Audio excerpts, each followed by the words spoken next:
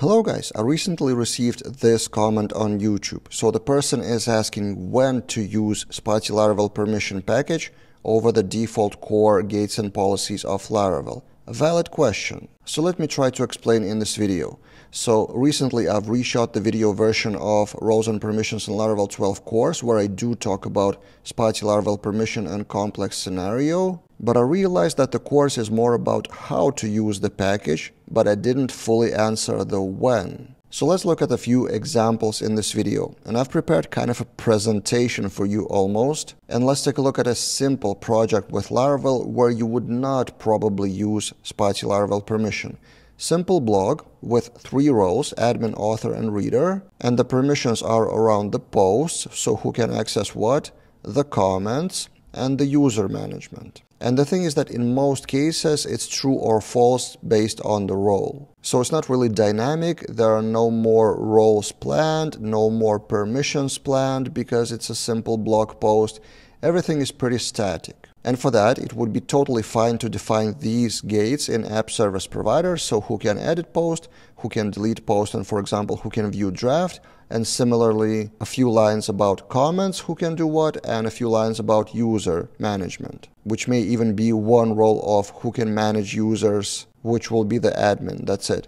And then in the blade for example here on the bottom you can see you just call the name of that permission of that gate and that's it. And you do the same in controller or wherever else you need to check the permission and that's it. So no policies and no Spatie package. In other words, simple project then the only thing you need to do is to add also a global scope. Do not forget to implement this part of and permission matrix own only so authors would see only their posts by author ID for example. Now imagine a more complex project for project management for example where there are more roles project manager, team lead, developer, client and there is a potential for more roles like accountant or branch manager or something like that. And then there are more entities, objects, models to manage projects, tasks, teams, reporting, communication, for example, file management, and not everything is a CRUD here. So report is totally a separate logic with who can access what. And as you can see, it's more granular with more not just true or false, but more complex logic. So for that, if you try to define the gates like this in app service provider, that would be a huge file. And even if you divide them into policies, that logic would be pretty complex. So for that, you would want to use Spatie Laravel permission package to store those permissions in the database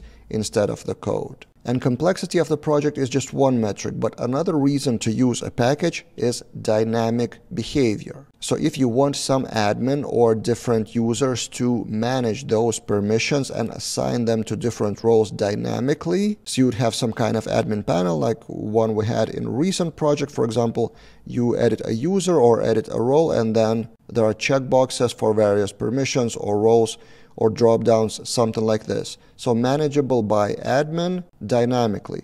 Then by definition, you cannot store that in the code. It would be in the database, right? So then Spatie Laravel permission is your best choice. Now speaking about the database, you would think that if you store the permissions in the database and check them every time on every page or every request, you would have performance issues. And you may be partially right. So if we visit any other page of the same project and I've installed Laravel debug bar, if we take a look at the queries, to check the roles and permissions, Spatie package launches two queries to the database. First, check for the role with user ID 1 and then check for permissions with user ID 1. But then also, as you can see, select from cache. And this is interesting. Not sure why, I don't know the answer, but it says in the documentation of Spatie Laravel permission roles and permission data are cached to speed up performance, but then my question is in my testing why those queries are performed. Because if we take a look at the cache, we have some data. I'm using database driver for caching.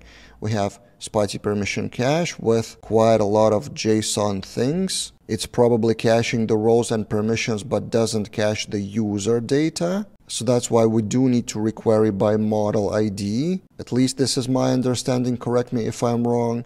But also what cache helps with is to automatically reload the relationship if you do something like this. So if you do some assignment or revoking permissions then cache would help you to avoid extra problems. But generally, this is kind of a correct approach, in my opinion, to query the database on every page to check the permissions is a good security practice. Otherwise, if you take it from cache somewhere every time, you may bump into a situation where some access is revoked, but it's still accessible from the cache. I don't know, this is my opinion and my interpretation. We can discuss in the comments below. And also finally, if you use Spatie permission package like this, and the policy would have has permission to, has permission to, and others, you still need to add global scope for eloquent queries for that model because what package does is check the permission when the person is already visiting the page of edit post or list the post, but it doesn't filter the data.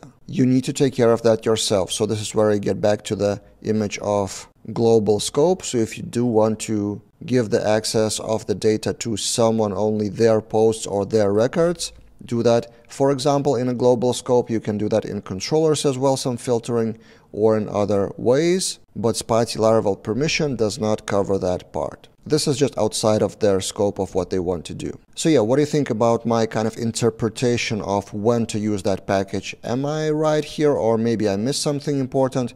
We can discuss in the comments below. And have you ever had a situation where you used that package but then regretted it or vice versa? Share your stories as well in the comments. And again, if you want the overview of roles and permissions in Laravel, my recently refilmed, reshot one hour course is freshly available to you and I will link that in the description below. That's it for this time and see you guys in other videos.